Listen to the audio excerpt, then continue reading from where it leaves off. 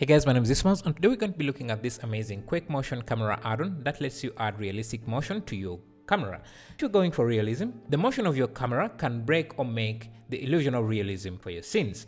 In the real world, there is limitations to how your camera can move and that creates expectations in the audience of what kind of motion they can expect in your camera. So that's why you see professional Hollywood directors like James Cameron, when they're shooting a full CGI scene, they opt to use real cameras to shoot uh, virtual scenes and uh, they will use these handheld rigs to get the handheld motion into into CGI scene that you can't really get with keyframe animation. This is what the Quake Motion camera add-on for Blender does for you. It lets you do the same thing uh, these expensive camera rigs do since you can even see in these scenes that uh, there is that element of handheld camera that grounds the scene and makes the scene look more real than you would get with just simply keyframing your animations. Even these high elevation camera movements, you, you can still feel the element of realism uh, that comes through uh, with the handheld camera movement uh, that they get with uh, these expensive camera rigs. And since most of us can't afford those expensive rigs, the next best thing is this Quake Motion Camera Shake Blender add-on that you can get from Blender Market. I'll be leaving a link in the description. Uh, yeah, so let's dive in and see how you can utilize it. So if you download the add-on, you'll get a zip file containing a few different files, including some demo files uh, for Blender 2.7 and uh, Blender 2.8 and you can see with that camera shake effect you get the element of speed in in your scene uh, without doing too much work.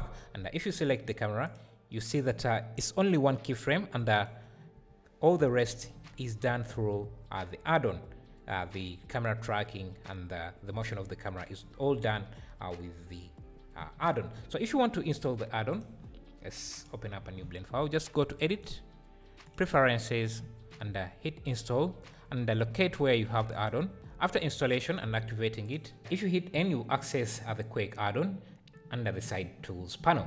So to use it, uh, all you have to do is uh, if you hit Shift A and go to the cameras, you see a few other cameras that have been added. You'll see the Quake camera motion. And uh, if we go into that, you can see that uh, we have a simple uh, Quake animation. And you can also add the racing add-on the, the racing animation so if you tie this uh, to an object say an object moving in space so if we say add a cube and I just give it a slight motion forward just parent that to the uh, just parent the camera uh, to the object. Just push this back a bit. You can see you get that illusion of speed really easily without doing much.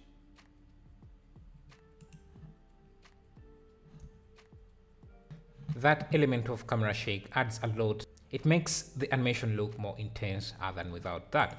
And uh, you have a few presets uh, to use. So if I hit N you can see you can access a few different settings. So if you want to download the add-on just find the link in the description and you can get it.